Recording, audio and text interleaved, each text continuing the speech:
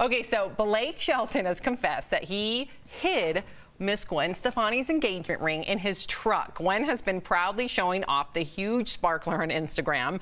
But on the Bobby Bones show, Blake said his truck may not have been the best place for it. You think? Watch. The scariest thing was I had that ring in the uh, the compartment on my door of my truck for about a week. And I don't know about you, but stuff falls out of that damn thing on my truck all the time. I'm digging in there looking for a flashlight or change or and I kept thinking, man, somebody's going to hit the jackpot whenever I drop this thing out of my truck. But luckily, because I wanted to keep it in there all the time because I didn't know when I would have the exact right moment. But uh, thank God I didn't lose the ring. It's so you, Al. That's something you would do. I couldn't. Why is he on the phone? It's COVID. Yeah, that's I, weird. Yeah, I don't. He was on the phone, but also on video. But I digress. Uh, you, you know, I think it's. I think it's a cool. What's that you look? would lose your ring. Oh, I did lose my ring. There uh, you go. I lost my ring one time in a hot tub with my uh, now deceased buddy John Witherspoon. Rest in peace. Uh, we were in Miami having one of the best weekends ever. I was opening up for him, and I lost my wedding ring in a hot tub. And uh, the club called me a week later and said somebody found it, they and they sent it? it? to me. Yes. Fantastic. Good. Wow. Good ending. Yeah, we had a great time. Wow. Okay. Um, Cool.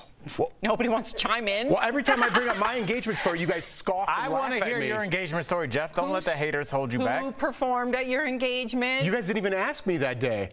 Who performed? At your engagement? No, I'm not engagement? telling you. You guys scoff and laugh. no, I'm not doing it. Tori, how about you? Did you ever lose your ring? Just say. No, I've never lost my ring, but I usually use, lose everything else. But I've never lost my ring in my ever in my life. Not it's an even... estate sale. It's like it's like an old person, you know, it's like a 1905 ring. There's got a lot of like spirit in it. Mm. What if your ring's haunted? A state sale? Okay, don't go there, Sam. Don't do that. Don't haunted? put that out there. She gets a 1905 ring. She, but why could that? Why would that be haunted? They say that hauntings. They are, say it can who's be. They? Yeah. Hold on, Jeff. She's making up a saying about hauntings they, on the fly. They I'm say, here for it. Go. They say that hauntings get stuck on specific yep. relics, so to speak, right? Yep. So it could be yep, that's correct. That's within correct. your thank you, Tori, within your ring, an old china doll, um, a dollhouse. Anything doll related? what was that?